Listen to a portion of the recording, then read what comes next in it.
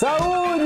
Eu sou o Vitor Camejo e esse aqui é o Jornal de Casa, o jornal que agora pratica jornalismo culposo, sem intenção de informar. E antes da gente começar, você já sabe, se você é novo por aqui, seja muito bem-vindo, já se inscreve no nosso canal, senta o dedo nesse joinha e você que já é velho de guerra aqui, nosso companheiro, obrigado por ter aqui mais uma vez.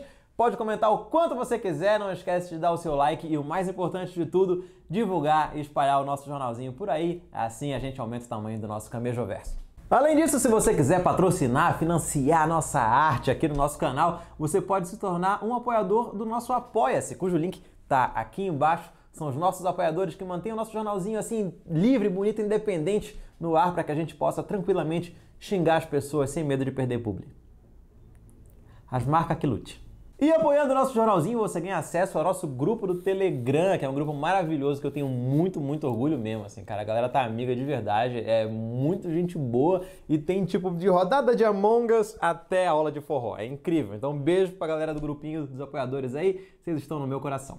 E se você quiser saber o que acontece entre um jornal de casa e outro, a gente tem o nosso Instagram, o link tá aqui embaixo e você pode seguir a gente para saber um pouquinho das novidades, como por exemplo a nossa Nordestur. Sim, semana que vem eu vou estar pelo Nordeste em Recife, Fortaleza e Salvador. Já tem lugar esgotado, showzinho pra pouquinha gente. Então vai lá, os links estão aqui na descrição do vídeo. A gente vai se ver lá de longe.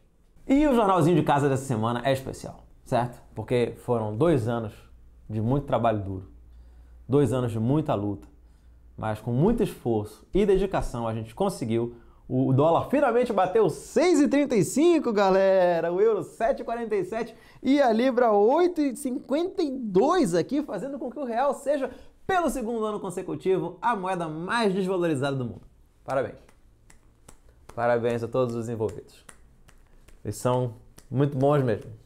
Vocês sabem que eu gosto muito de brincar aqui cada vez que eu acerto alguma previsão de análise política ou econômica, certo? Só que assim, eu sou um comediante. Se eu acertar ou errar, foda-se.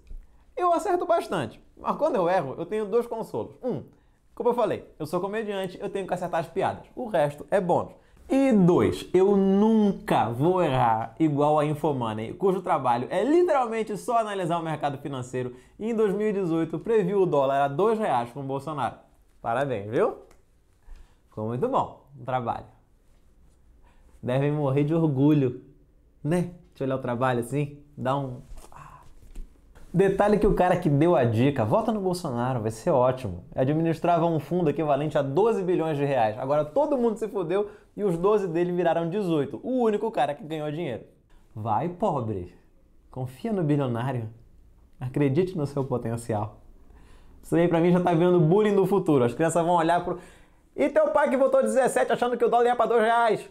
Mas agora eu quero que a gente tire um minuto para apreciar um projeto muito bonito do prefeito Marcelo Crivella, do Rio de Janeiro. É um projeto que eu, eu, sei lá, eu imaginei que eu nunca fosse chegar esse dia, eu ter que elogiar alguma coisa que ele faz, mas vocês veem que existe uma primeira vez para tudo. Né? É um projeto para combater o bullying entre as crianças, é um projeto que eu não vi ainda, eu vou ver agora pela primeira vez com vocês, mas se chama Orelhinha Bonitinha.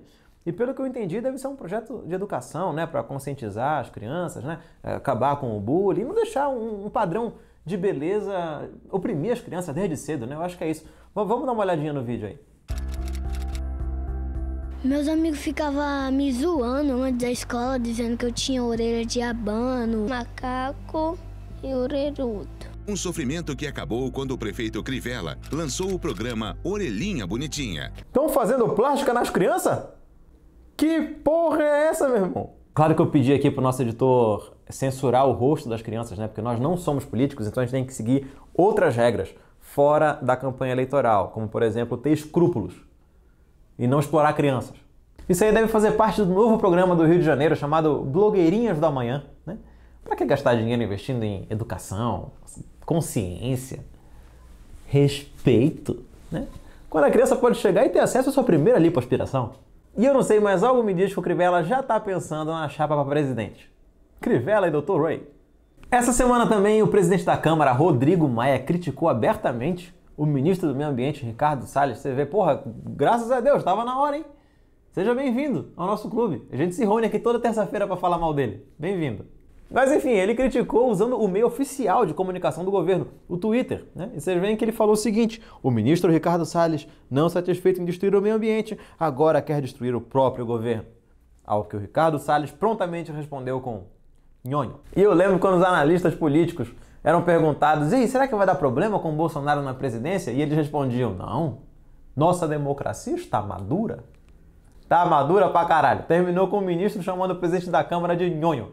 Eu só penso na pessoa que estava do lado do Rodrigo Maia nessa hora. Vocês verem que nem todo herói usa capa. Essa pessoa, com a força de vontade inabalável, conseguiu olhar pro Rodrigo Maia, olhando pro celular puto da vida, assim, lendo nhonho, grandão, assim, com ódio vermelho, e essa pessoa teve que resistir à tentação de olhar para ele e falar: Mas não fique barriga, senhor irritado. No outro dia, o Salles veio a público no Twitter e falou que tinha sido hackeado, que alguém invadiu a conta dele e usou a conta dele de maneira inapropriada. E inclusive pediu para o chefe da ABIN investigar quem possa ter invadido a conta dele. Então é basicamente isso: foi um hacker que invadiu a conta de um ministro da República com acesso a informações valiosíssimas, inclusive DMs. Mas ele entrou com o único objetivo de escrever nhonho. Faz todo sentido, certo? Eu fico imaginando quem possa ter sido a pessoa que odeia tanto Ricardo Salles a ponto de. Calma. Leonardo DiCaprio? Foi você, Léo. O que ele não contou é que ele estava naquele momento em um bar, num hotel em Fernando de Noronha, cuja diária é mais de R$ 1.800 a noite e só aceita reservas para pelo menos duas noites, junto com vários outros membros do governo, inclusive Flávio Bolsonaro, que inclusive tentou pedir reembolso desse rolê para o Senado Federal. Foi basicamente a versão mamata do surubão de Noronha. Ou seja, o Ricardo Salles é, ao mesmo tempo, aparentemente um corrupto condenado, um aluno de Yale só na cabeça dele, um incendiário louco, um ministro da República, uma criança de 5 anos que gosta de apelidar os outros. Ou seja, a gente queria um ministro competente e ganhou fragmentado. E falando em gente ruim das ideias, essa semana o Bolsonaro fez uma viagem de Brasília até o Maranhão. Uma viagem longa. Pegou o avião, foi até São Luís, de Brasília até São Luís para vocês verem o quão longe uma pessoa é capaz de ir para falar merda, né? E lá no Maranhão ele chegou, tomou um Guaraná Jesus, uma das bebidas mais famosas do Brasil, e falou isso aqui.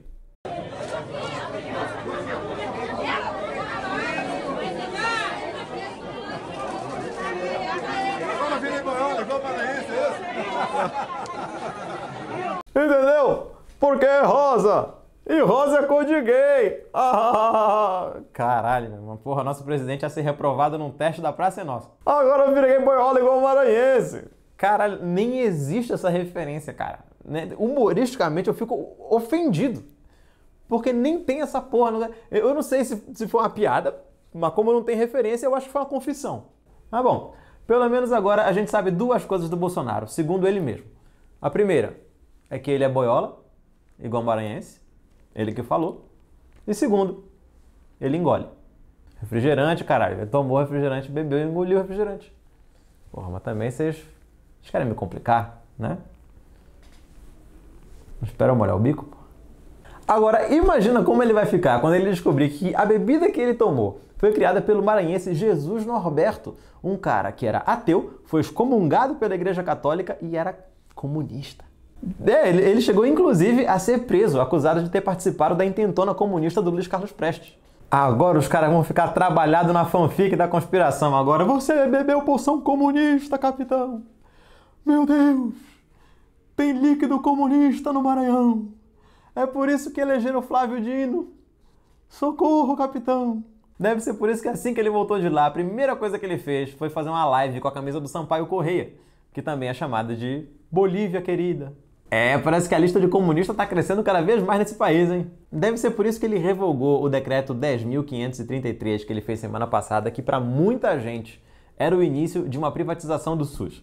E bom, o que que foi esse decreto, tá? Bom, basicamente, do nada, o presidente editou e publicou um decreto dizendo que estava autorizando estudos de parceria com iniciativa privada para a construção, modernização e operação de unidades básicas de saúde em todo o Brasil estados, cidades e no Distrito Federal.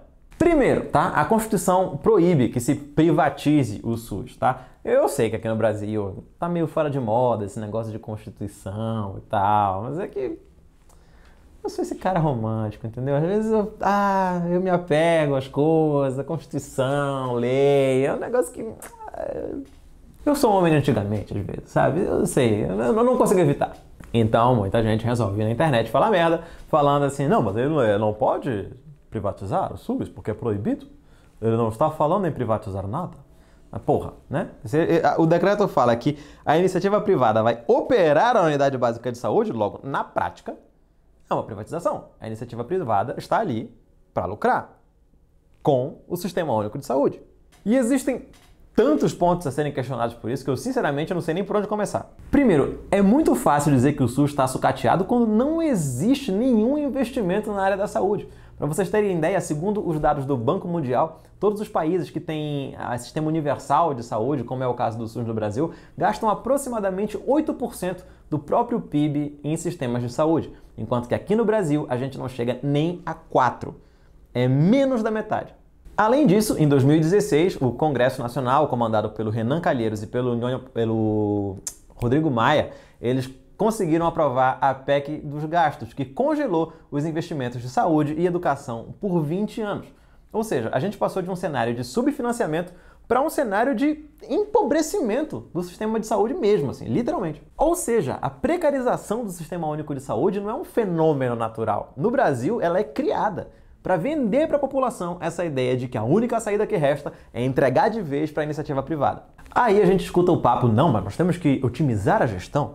Não, tem dinheiro suficiente, o que a gente precisa é otimizar a gestão. Quando os próprios números mostram que não, não é suficiente. Não tem dinheiro bastante. Tem, inclusive, menos da metade do mínimo. E, infelizmente, todo esse pensamento de eficiência de gestão tem um limite, que é a realidade. Não dá para chegar, não, agora a gente vai ter que fazer e tocar esse posto de saúde só com essa batata que deram pra gente aqui. Além disso, tem essa mania infernal de dizer que saúde não é direito, é um serviço. Saúde é um direito, cara. Você tem direito, cara. Você não precisa ter dinheiro. Aceita que você tem direito, cara. Se ama. Fala, eu tenho direito. Repete. Eu sou um coach agora. Vai. E outra, olha quem assinou o decreto, tá? Jair Bolsonaro e Paulo Guedes, o ministro da Economia. Não tem nenhuma palavra do ministro da Saúde, que existe. É o general Pazuello, chamado carinhosamente de Pazuzu, o demônio da estiagem e da fome. Oh. O fato é que esse decreto é uma clara tentativa do Ministério da Economia de invadir a área do Ministério da Saúde, transformando em negócio a saúde das pessoas. Mais precisamente a saúde da classe trabalhadora, né? Porque ninguém espera aqui chegar no posto de saúde e encontrar o Paulo Guedes na fila. E aí, duas coisas podem acontecer. A primeira, as pessoas terem que começar a pagar diretamente para ter acesso aos serviços da unidade básica de saúde, o que vai simplesmente excluir parte da população que não tem dinheiro, cara. Não tem. As pessoas não têm dinheiro para comprar sabonete, às vezes, para lavar a mão em casa. Imagina comprar remédio. Tá, e, e, seguindo a lógica do mercado, onde o lucro é o maior e principal objetivo de tudo. E se uma unidade básica de saúde fecha acordo com um laboratório? Só, porque é mais barato para um e mais lucrativo para outro. E aí, o que, que a gente faz? Durante a pandemia, por exemplo, planos de saúde como a Prevent Senior, a Apivida e a Unimed mandavam os seus médicos receitarem cloroquina, querendo eles ou não. E aí? A gente vai abrir mais essa porta do comércio em cima da nossa saúde? É isso? Como é que a gente vai fazer? Tipo, ah, doutor, eu sempre melhoro com um Advil. Ah, mas só tem Pepsi, pode ser. O segundo ponto, o serviço de saúde é muito caro. Muito caro. Muito, muito, muito caro. Muito caro, tá? Muito caro, sabe? Caro, muito caro. Uma amiga que vive nos Estados Unidos postou no dia que saiu o decreto do Bolsonaro aqui a fatura do plano de saúde dela, desse mês agora. Tá? Ela paga cerca de 250 dólares para uma pessoa. Tá? E esse mês ela fez duas consultas, um exame de sangue e um raio-x. E teve que pagar, mesmo com plano de saúde, mais 614 dólares. Fora os 250 que ela paga por mês. É inviável, cara. Isso sem falar nos custos de quem precisa de cuidados constantes. Por exemplo, uma pessoa que tem diabetes nos Estados Unidos pode gastar por ano, em média, R$ 16.750 em tratamento de diabetes, que o SUS do Brasil faz por zero. Então me respondam, como esse modelo de negócios é viável? sem jogar a classe trabalhadora na miséria, sem que uma doença vire uma sentença de pobreza, com os subsídios do próprio governo. Que ao invés de investir diretamente em melhorar, incrementar e modernizar o sistema de saúde, coloca um atravessador no meio, que encarece mais o serviço e transforma uma despesa que seria pública em um lucro privado. Assim, ele encarece o serviço e enriquece uma empresa lobista à custa da saúde das pessoas. A prova de que esse sistema não vale a pena é que desde 2018 os planos de saúde individual estão desaparecendo, porque as próprias operadoras dizem que não vale a pena. Além disso, agora os planos familiares também estão tendo as suas vendas desencorajadas. Eles tentam te empurrar só os planos empresariais. E o porquê disso ninguém te fala, mas eu vou te contar agora. É porque a ANS, a Agência Nacional de Saúde, regula o quanto que cada plano de saúde pode ajustar por ano, reajustar de mensalidade por ano. Ou seja, o aumento deles fica limitado nos planos familiares por ano, justamente para não ficar caro demais para as famílias. No empresarial não tem esse limite e eles podem aumentar o quanto eles quiserem todo ano, porque pau no seu cu. Quer dizer, né?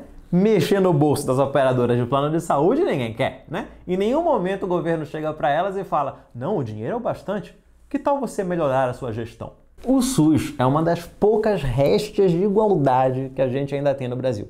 Se merece críticas, merece também ser defendido, porque não é justo que o trabalhador tenha que incluir no orçamento ainda mais quanto custa o valor da própria vida.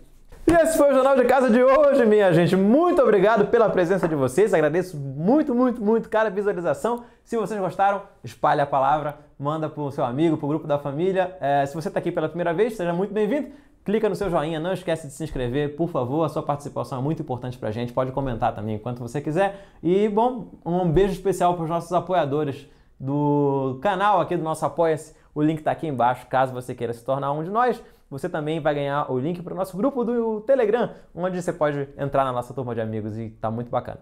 Na descrição do vídeo a gente tem também uh, os links para os nossos shows no Nordeste, que vão acontecer semana que vem. E no fim dessa semana eu tenho um solo agora no Minhoca, aqui em São Paulo. Reabertura do Clube do Minhoca. Então, se você estiver em São Paulo e quiser ir, dá uma olhadinha lá embaixo que eu estou te esperando lá. Na quinta-feira a gente também tem o nosso show do Em Pé na Rede no Teatro das Artes. Está tudo aqui na descrição do vídeo para você. No canal do Em Pé na Rede a gente tem vídeo toda quinta e domingo. É, é isso. Até semana que vem. Próximo Jornal de Casa. Fiquem seguros que semana que vem tem novo presidente dos Estados Unidos e baixarias culposas. Tchau.